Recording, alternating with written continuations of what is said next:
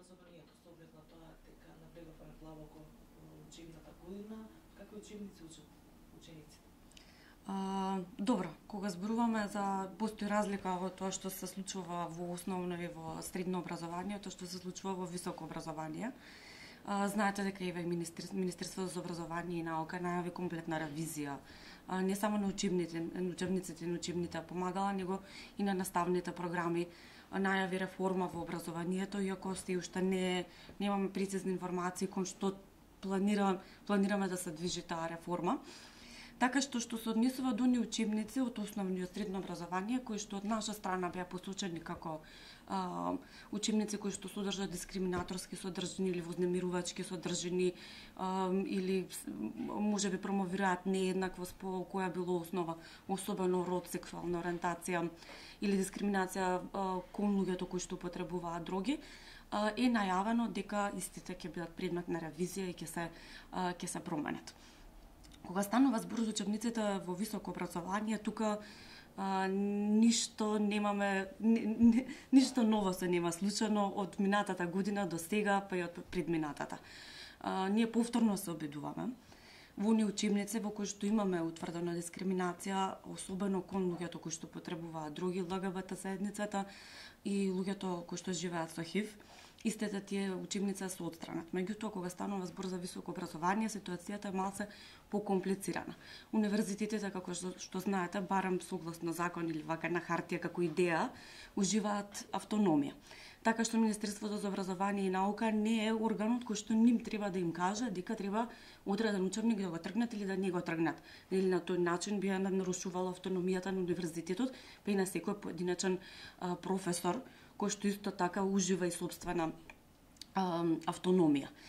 А, така што ние се обидуваме да работиме тука со универзитетите. А, до сега, благодарение на нашите напори, меѓутоа збориме напори кои што се од, од 2009 до денес, нели, на крај на 2017 година сме, значи веќе 8 години се занимаваме со ова со ова прашање, имаме многу ограничени успеси. Односно, до сега од високо образование сме успеале да се повлечат само а, три учебника. А, тоа се психиатријата на, на Чадловски и медицинската психологија, додека за, за другите учебници и без разлика дали имаме позитивни или негативни одлуки од Народниот правобранител или од Комисијата за заштита од дискриминација, крајната цел не е постигната. Односно, од учебниците се уште се се учи. Без разлика тоа што Еве, на пример, И од Комисијата за заштита од дискриминација имаме позитивни одлуки. Имаме позитивни одлуки и од о, Народниот правобранител за одредени учебници. За одредени учебници имаме негативни, за одредени имаме спротиставени ставови на, на институциите. О, мислам, начинот на кој што они ги работат о, нашите представки, нивните о, и колку добро тоа го прават е исто така предмет на, предмет на дискусија. Особено што имаме о, За еден учебник утврдуваат дискриминација, за друг учебник не утврдуваат дискриминација, може да се работи дури за по вознемирувачка содржина од едниот во другиот. Исто така проблематично и тоа што не ја следат нели собствената собствената пракса. Некогаш утврдуваат, некогаш не. Од друга страна не, не постои доволна храброст и од страна на народниот правобранител. Тој ќе утврди дискриминација, меѓутоа не препорачува на универзитетот да го отстрани учебникот него препорачува да додаде одредба во правилник за издавачка деност. Така што тоа е еден процес кој што 2009 година го, го работиме, притоа имаме изготвено и повеќе анализи на учебници, имаме соработувано и со доста професори на оваа тема, меѓутоа се уште, како што кажав, имаме многу ограничени, ограничени резултати во однос на ова. Така што идејата со конференцијата е да разговараме малце повеќе со академската заедница. Бидејќи постоењето на такви содржини во учебниците е срам. Пред се е срам за а, универзитетите кои што имаат учебници кои што викаат дека хомосексуалноста е болест, дека таа треба да се ликува со тоа што на младите луѓе ќе им кажете дека ако се хомосексуалци ќе станат стерилни, тоа е срамота. Значи, на тој начин се повредува правото на образование на секој студент, а од друга страна се дискриминираат цели групи на граѓани. професорите кои што ги пишуваат овие учебници, освен тоа што дискриминираат, сервираат и комплетно нерелевантно образование за своите студенти. Овие учебници од некои од студентите се и предмет на подсмев. Не можеме, од друга страна имаме, нели, зборуваме за високо образование. Од овие учебници идни професионалци треба да треба да учат.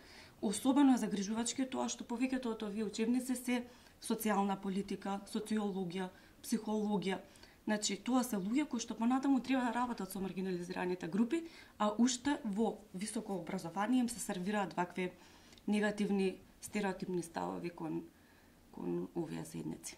Кои се аспекти внутре на конференцијата ќе ги разгледувате? Проблемите со учебниците во однос на маргинализираните?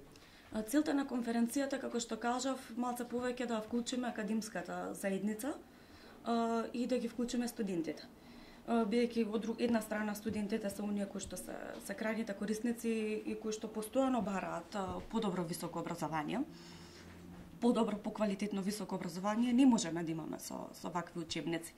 А од друга страна, од самите професори ќе побараме да се вклучат поактивно во заложбите. Односно, тие професорите се исто така дел од раководните структури на, на ректоратите, може да влијаат на тој начин, може да се здружат, може да побараат заеднички да се да се повлечат ваквите ваквите содржини кои што значат дискриминација, значат вознемирување, значат повреда на правото на образование на студентите и на крај крајава се крајно срамни да постојат во високото образование. Оваквото конфронтирање утре на професорите и а, студентите, предпоставувам дека ќе се слушнат различни мислења и ставови на оваа тема, Какви резултати очекувате? Дали ќе се остане само на дискусија или ќе се приземат некои мерки? Ние сакаме да да испратиме и барање. Самите студенти и самите професори да испратат барање до ректоратот.